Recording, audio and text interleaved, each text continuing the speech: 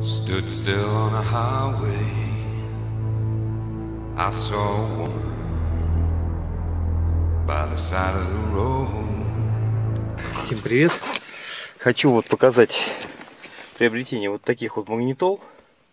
Карается за глупость. Сейчас покажу. Вот такая и вот такая. Так, ну вот я хочу посмотреть, показать, что внутри.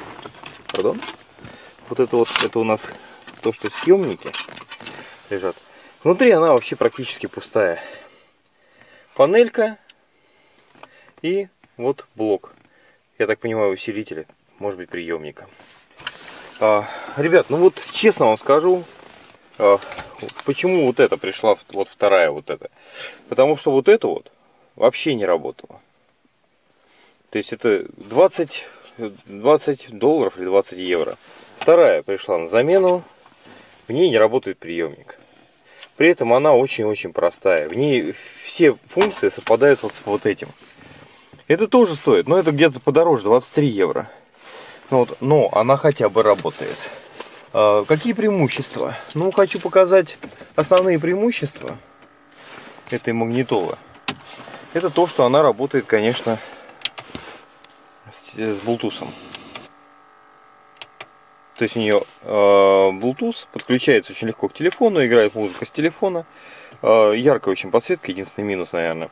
Ну, вот, но здесь хотя бы, видите, нигде не торчит э, светодиода прям сквозь э, панель. Вот у этой сквозь панель торчат светодиоды. Я, может быть, вам как-нибудь покажу, когда подключу. Ну, у этой, да? То есть вот у этой. Почему я ее снял? Потому что она реально слепит. Э, Все то же самое, все те же самые функции вы видите. Э, hand-free замечательно работает, только микрофон, конечно, лучше перед лицом иметь, а не там. Э, карта, USB вход, аудио вход, то есть все, что душе угодно. То есть, соответственно, как бы здесь и зарядка телефонов тех же самых через USB. Но микрофон здесь, вы видите. Разговаривать приходится вот наклоняясь, вот так, наклоняясь и разговаривать очень неудобно. То есть нужна, конечно, выносная. Нужен выносной микрофон, но я думаю, что это можно обеспечить. Ребят, вот уже 23 доллара, да, против 18, и уже этот рабочий. То есть 100% был рабочий. Вообще никаких претензий. Bluetooth. Э, работает э, приемник. В принципе, можно посмотреть. О, ауто и поехали. И поехали.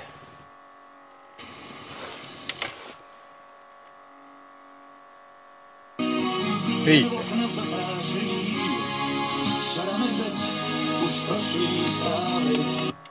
Вот на э, другом просто было, вот на этом это, это практически было невозможно. То есть все то же самое казалось бы, но вот факт остается фактом, что это оказалось барахло. Вот это хотя бы работает.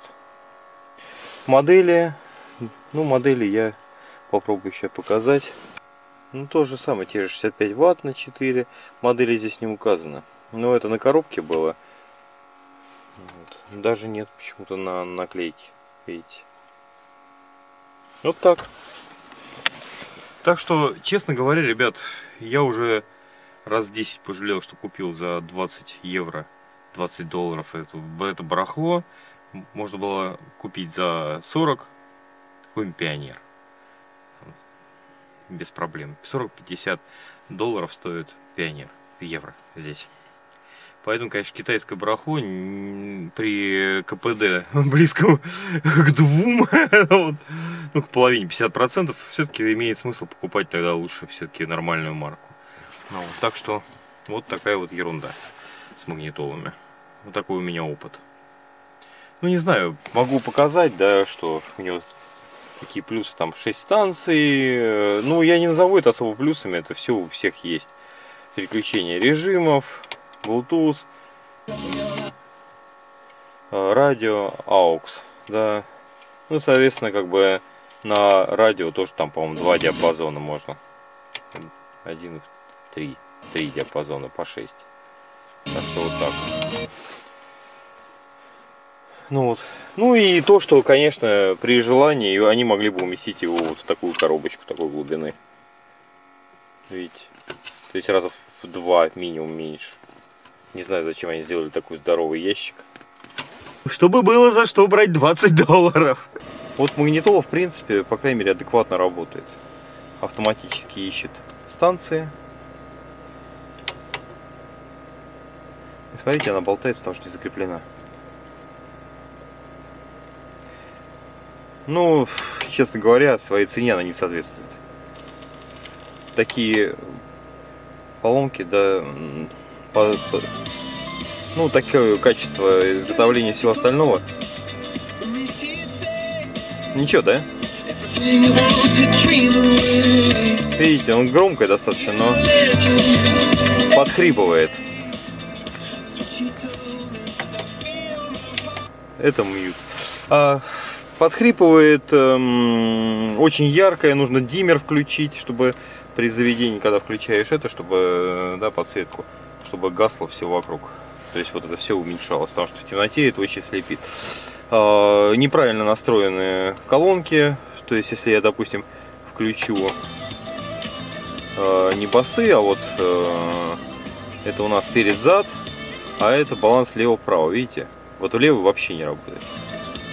Право работает, влево нет. Потому что, скорее всего, это перед-зад перепутан. Вот это тре, тре, тре, который, да? Ой, пардон, нет. -то. Вот тре. Это вот перед-назад. По логике. А это лево-право получается, видите? Они перепутаны местами. Хотелось бы, конечно, сказать, что китайские магнитолы нужно брать, похоже, не дешевые. И то вы получите тогда китайщину все равно. Так что, по мне, так лучше все равно нормальные марки. Пионер, GVC, э, ну, Alpine, то что все-таки хотя бы 50 долларов придется за нормальную магнитолу отдать. То есть, ну, не больше. 50 долларов это вот магнитола с, эм, со всеми там этими прибамбасами. SD диск, там, ой, ну, SD, SD карта, AUX вход, USB вход и Bluetooth hand-free. Ну, вот. Плюс добавок получше, чем выносной микрофон. По крайней мере, в Пионере будет выносной микрофон. Все. Всем спасибо за внимание. Подписывайтесь, ставьте лайки, ну и всем пока.